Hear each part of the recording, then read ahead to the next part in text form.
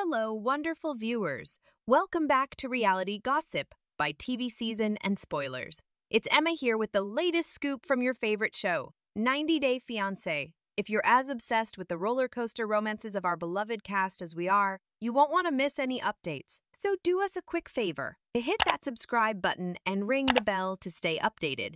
Now, buckle up because today's news features the surprising end of Jen Boecher and Rishi Singh's love story. Are you ready for this? Let's get into it. It was like a modern day Romeo and Juliet saga, with our 90 day fiancé couple Jen and Rishi trying to bridge the gap between two very different cultures. Their secret relationship was a subject of fascination as we watched them navigate the complexities of tradition and romance in India. But in a turn that has left many of us heartbroken, it seems the couple has reached the end of their journey together. The announcement came out of nowhere when Rishi took to his Instagram to share the news of their split. It's not just a brief update. This post is a heartfelt confession of a mutual decision to separate. But what could have led to this? Fans speculated, discussions erupted online, and the outpouring of support from other 90 Day Fiancé stars was immediate. Sumit and Jenny, a couple that resonates with Jen and Rishi's struggles, commented with words of empathy, wishing them strength in this challenging time.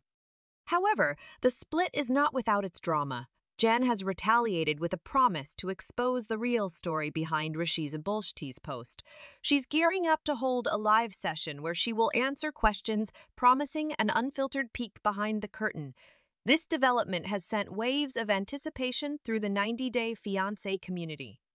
This is where I turn it over to you, our insightful viewers. What's your take on Jen and Rishi's split?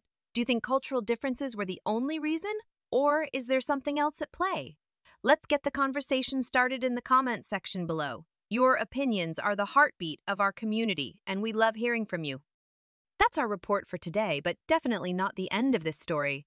We'll be keeping a close watch on this unfolding drama, so stay with us for the updates. Before you click away, remember to hit the like button if you enjoyed our chat today. Subscribe and smash that bell icon if you haven't already. You won't want to miss what's coming up next. I'm Emma, and this has been your exclusive 90 Day Fiancé News Update. Thanks for tuning in, and remember, in the world of reality TV, there's always another twist around the corner.